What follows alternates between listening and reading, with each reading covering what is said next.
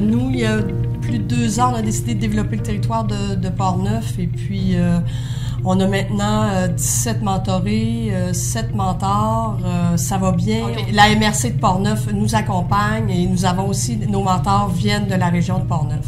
le mentorat, c'est une relation d'échange entre entrepreneurs misant sur le partage du vécu et d'expérience afin de permettre à l'entrepreneur mentoré d'accélérer son développement.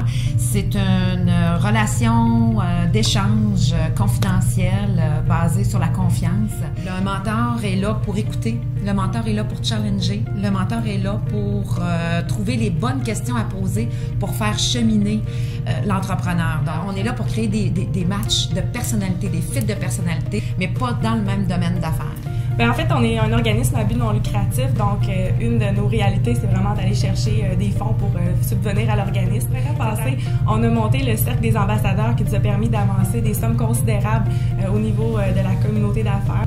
Aussi, on, a, on est actuellement en train de refaire notre image de marque, donc on a refait notre site web, refait notre visuel. C'est quelque chose qui s'en vient sous peu, qui va être lancé prochainement. Aussi, pour répondre à la réalité des entrepreneurs, on a différentes réalités, donc on a fait euh, différentes approches nouvelles, donc le mentorat de groupe, entre autres, qui s'adresse aux entreprises en pré-démarrage, démarrage.